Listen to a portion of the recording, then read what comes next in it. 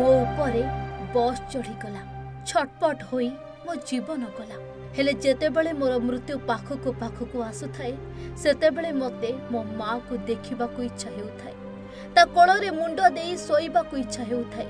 ହେଲେ ମୋ ମା ମୋ ପାଖରେ ନଥିଲା। ମୋର କ'ଣ ଭୁଲ ଥିଲା? ମୋର ମୃତ୍ୟୁ କାହିଁକି ହେଲା? ଜଳଖିଆ ଆଣିବାକୁ ଯାଇଥିଲି। ସକାଳୁ ମୁଁ ଭୋକରେ ଥିଲି। ଜଳଖିଆ ନେଇଥିଲେ ମୋ ମା ମୋ ଭଉଣୀ ଆଉ ମୁଁ ମିଶିକି ଖାଇଥାନ୍ତୁ। ହେଲେ କି ଦୋଷ କରିଥିଲି? ଆଜି ମୁଁ ଏମିତି ମଲି। ବାଇକ୍ ଧରି ଆସୁଥିଲି। ହେଲେ ସେ କାଳ ବସ୍ଟା କୋଉଠି ଥିଲା କେଜାଣି? ମୋତେ ସେ ପଛରୁ ଧକ୍କା ଦେଲା। ଏତିକିରେ ସେ ଡ୍ରାଇଭରର ମନ ଶାନ୍ତି ହେଲାନି ଯେ ମୋ ଉପରେ ବସ୍ ଚଢ଼େଇ ଦେଇ ଚାଲିଗଲା। ବହୁତ ଛଟପଟ ହେଲି। ହେଲେ ମୋ ଜୀବନ ଚାଲିଗଲା। ଏବେ ମୋ ବିଧବା ମା କଥା କିଏ ବୁଝିବ? ମୋ ମାର ସାହାରା କିଏ ହେବ?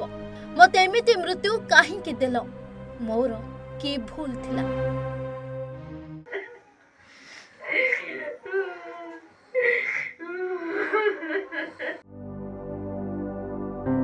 ପାଞ୍ଚ ବର୍ଷ ପୂର୍ବରୁ ସ୍ୱାମୀର ମୃତ୍ୟୁ ହୋଇଥିଲା। ଆଉ ଏବେ ଭେଣ୍ଡିଆ ପୁଅ ବି ଛାଡ଼ି ଆରପାରିକୁ ଚାଲିଗଲା। ଏବେ ଏକୁଟିଆ ଘର ଭିତରେ ଗୁମୁରି ଗୁମୁରି କାନ୍ଦୁଛି ବିଧବା ମା।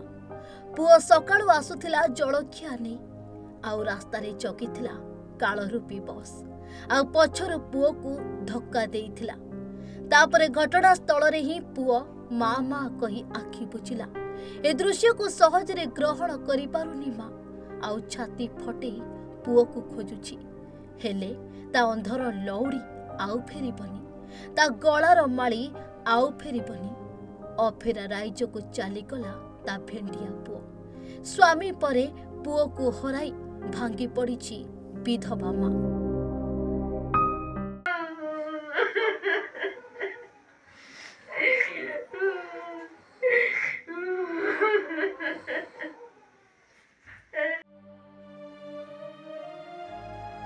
ହଁ ଆଜ୍ଞା।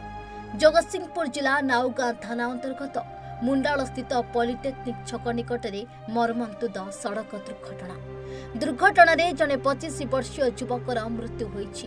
ମୃତକ ହେଲେ ସ୍ଥାନୀୟ ଖଇରା ଗାଁର ବ୍ରିଜେଶ ରୋଶନ ରାୟ। ବ୍ରିଜେଶ ମୁଣ୍ଡାଳ ଛକରୁ ନିଜ ଘର ଖଇରାରୁ ଏକ ମୋଟର ସାଇକେଲ ଯୋଗେ ଫେରୁଥିବା ସମୟରେ ଅଭିରାମ ନାମକ ଏକ ଘରୋଇ ଯାତ୍ରୀବାହୀ ବସ୍ ତାକୁ ପଛରୁ ଧକ୍କା ଦେଇଥିଲା। ତେବେ ଘଟଣାସ୍ଥଳରେ ବ୍ରିଜେଶଙ୍କ ମୃତ୍ୟୁ ଘଟିଛି। ଆଉ ଏବେ ପୁଅକୁ ହରାଇ ପାଗେଳି ପରି ହୋଇଯାଉଛି ମା। Bureau report Odisha Bhaskar.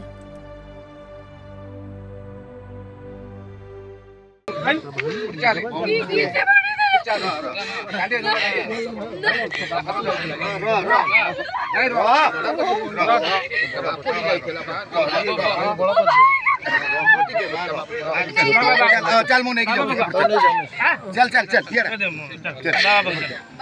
बाबा चल चल तुम मोर संगे चल चल। चल हाँ हाँ हाँ।